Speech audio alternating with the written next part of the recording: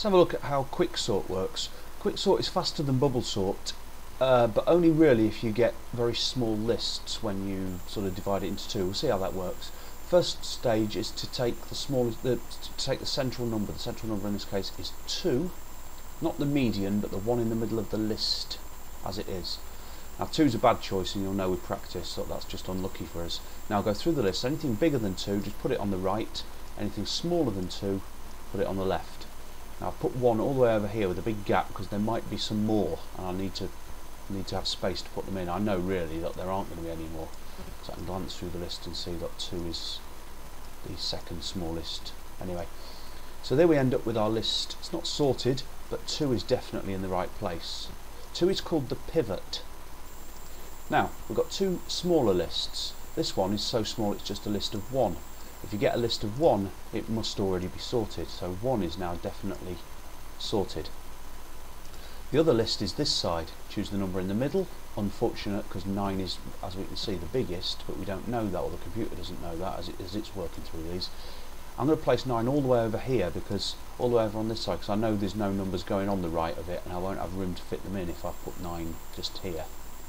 Anyway, smaller, smaller, smaller, smaller, smaller and smaller. So just in the order that they were, no thinking to be done there, no arranging them craftily. 9 is definitely in the right place. The next pivot is the 8. Now here, that's because we've got two numbers in the middle, 7 and 8. Always choose the second.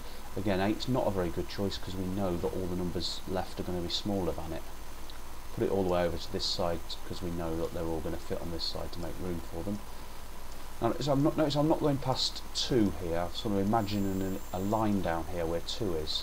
Imagining this line here, I don't really want to go to the left of that because otherwise they'll sort of appear in the wrong order. 8's definitely in the right place now. That was the pivot that we just used. The next pivot is going to be the 7, again a really unfortunate choice. So the 7 is the next pivot, 3 is smaller than 7, 5 is smaller than 7, 4 is smaller than 7, 6 is smaller than 7. So 7 is definitely now in the right place. So that's not working very fast. The next pivot is the 4, two numbers in the middle, choose the one, the second of the two, so 4. 3 is smaller than 4, 5 is bigger than 4, let's move it along to make space. If you were writing this down, you'd sort of write it in a place where you knew there was space for it to fit. 6 goes there. 4 is definitely in the right place, so 4 being the pivot is now in the right place. Now we've got two smaller lists, 3 is first, 3 is a list of just one number, so it must be in the right place. There's no sorting to be done on one number. And the others, there's two numbers. Choose the pivot, that's the second of the two. 5 is smaller than 6, so goes there. 6 being the pivot is now in the right place, and we're left with a list of just one number left. That's the 5, and because there's one number left, it must be in the right place. Now all of that didn't actually work very fast, so what I'm going to do is I'm going to rerun all of this but this time I'll sort of make sure that there's a better number in the middle so I'll sort of cheat in a way uh, and pretend that it wasn't a 2 in the middle which made things a bit bad. So in this second time round to cheat and put a 5 in the middle so let's pretend that we're ordering these numbers. Shuffle the others about a bit. I'm not thinking about where these go. So let's say that the question was put these numbers in order. 5 is the pivot 3 is smaller than 5, 2 is smaller than 5, 8 is bigger than 5, 1 is smaller than 5, 9 is bigger, and so on. 5 is now definitely in the right place. But there are now two slightly smaller than half the original list size lists to deal with. 1 is the pivot here, 3 is bigger than 1, 2 is bigger than 1, 4 is bigger than 1. 1 is now definitely in the right place. 2 is the next pivot, again not the best piece of luck for us because it's 3 and 4 are both smaller, uh, bigger. 2 is now in the right place.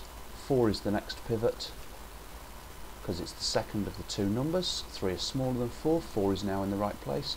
And because we've got a list now of just one number, that's the 3, it must be in the right place.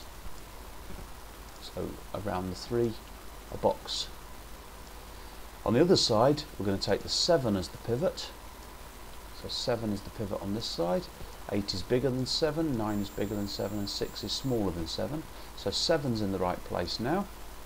Now notice what I'm doing here, I'm not going, when I write these down, I'm keeping to the right of the 5 because I want to be able to read across. When I'm finished I want the, them to read from left to right, even though they're up and down isn't right. 6 is just a, a list of 1, so that's the uh, in the right order.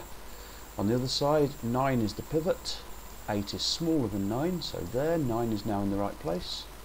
And now I've got just one list of 1 and that's the 8 and that goes there and has a box put around it.